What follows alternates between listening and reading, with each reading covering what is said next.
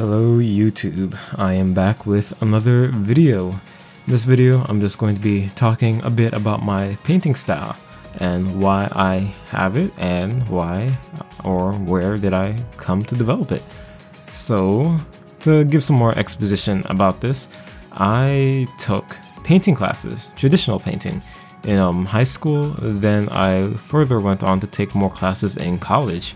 In high school, I applied to advanced painting 1 and 2, and I mainly practiced with acrylic and oil. I wanted to use gouache at one point, but the store didn't have it at the time, so I just stuck with acrylic for some time and then went on to move to oil painting, which is currently like my favorite traditional medium to paint in. It's just it just feels nice. A bit messy, but it's very nice to paint in if you know what you're doing. So um, yeah, I took classes for about I think four-ish years, two in high school, two in college, just to like build up my repertoire in painting because in terms of draftsmanship, I always knew I could just get better if I practice at home because it's easy to get a pen, pencil, paper, and just practice all day long. However, with paint, um, I couldn't really do it at home since I didn't have the space to do so, nor did I have an easel at home. However, in when I was at school, there was always enough space like palette extra palette paper that I could use to actually practice painting, especially easels. Easels like makes the aspect of painting much more easy to do. So um, I did a bunch of that. I could tell you right now, I sucked at painting. I, the the most I did with color was with color pencil, crayon, marker, but that didn't give off the aesthetic that I want. At least it, it didn't do the it didn't do the job that I wanted to, it to do. I see amazing artists work with color pencil, hell with crayon, marker, all that stuff. Copic markers, they're a godsend, but that's a whole other topic. Like Copic markers is is its I can't speak. Copic markers are in its own tier in terms of art material. Personally, some people say it's overrated because you can find cheaper markers that could that more or less has the same effect.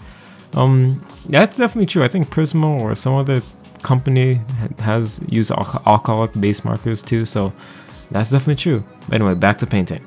So when I first, when I finally got out of art college, I sort of had to move left and right, so I couldn't really bring all my canvases, my oil paints, my palette paper, my brushes. I sort of had to, at one point or another, drop them or like throw them out because yeah, I think I think most of the brushes, like I didn't clean some of them, so the oil paint sort of got imbued and like fused together with the brushes. So um, that it made some of my brushes completely unusable. So there was that.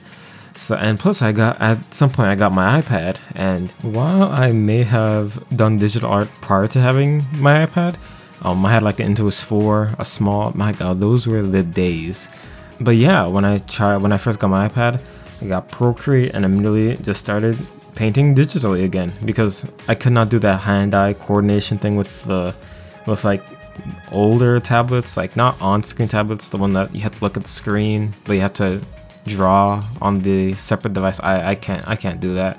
I guess again when I got my iPad, got Procreate, and um, I started going back to painting digitally. And while my painting style got better due to the painting classes that I took, um, it still didn't feel right. And I guess that's where brushes come in. And I'm pretty sure if you're in this art community, you've heard it a million times. The brushes are not what make the artist special, it's how you use them.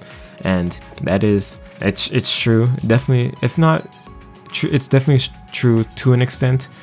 Brushes, I wouldn't say they don't matter, but let's just say that if you don't have the skills, the brushes won't matter as much. Hence why, despite me having these, currently at least, I have these oil painting brushes that I got somewhere, like I think I mentioned in the video or two before. And on top of my painting classes that I took, I'm able to utilize them to the full extent.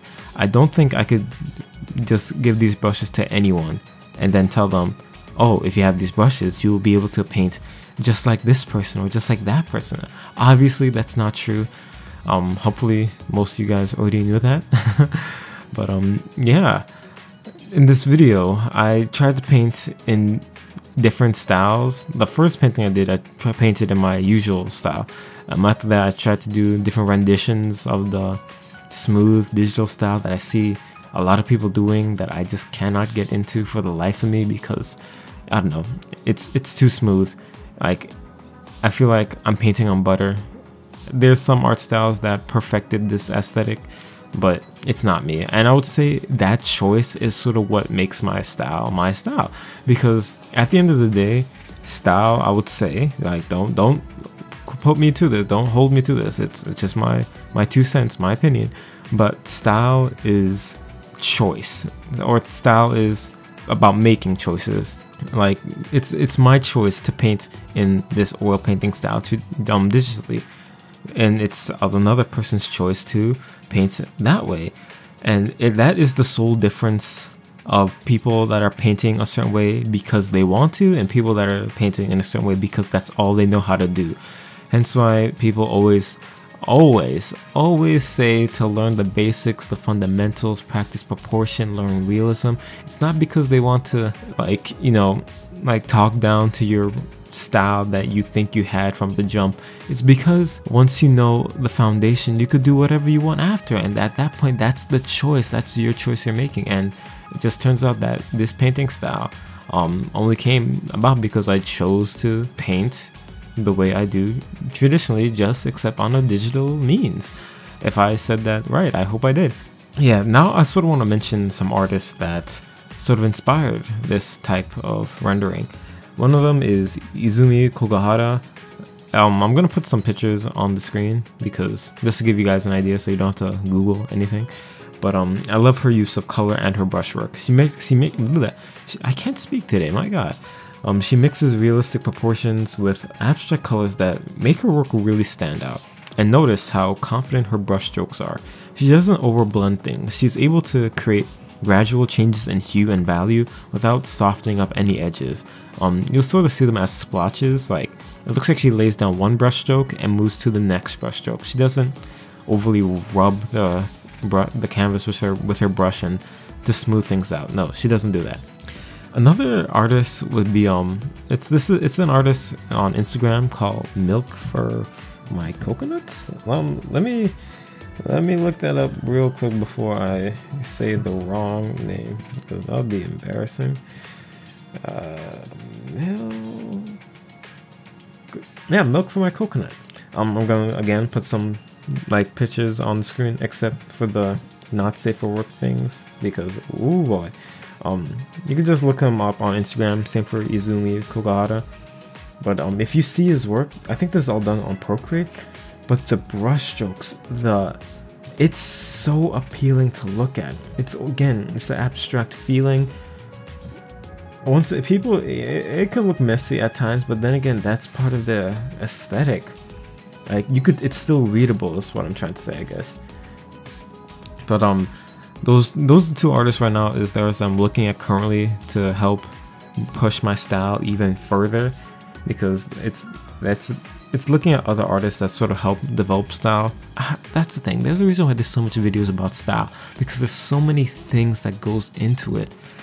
But anyway, that is how I sort of got the painting style that I do now. It's still in the works. It's still a work in progress. It's it is by no means fully done or mastered. Um, and that is the the intrinsic joy or fun of being an artist. Like we're never done. Like we're gonna keep learning new techniques. We're gonna keep advancing, and yeah, that's what it means to be an artist. I don't know. I, I don't know how else to say it. Anyway, thank you for watching this video. This video has been sort of definitely disjointed and it has me stumbling upon my words a lot because I didn't write a script for this video. And nor did I mention Ishida Sui for the hundredth time because my god, I'm pretty sure you guys already know how much I love him as an artist. Um, trying, I'm trying a bit to look away from just manga artists or just manga or cartoon things because there's beauty in looking at all forms of like art and artists. So it helps, I guess, diversify your skill set, diversify inspirations in terms of your style, and all that jazz. Anyway, thank you for watching this video. I'm trying to upload once a week as I always try to do. If you enjoyed this type of video, please think about liking or commenting, or even better yet, subscribing. That will help me a lot. I'm almost at 1k, and when I when I reach 1k, I'm going to be doing a bunch of announcements and updates. So, yeah, thank you again for watching, and I hope to see you guys in the next one.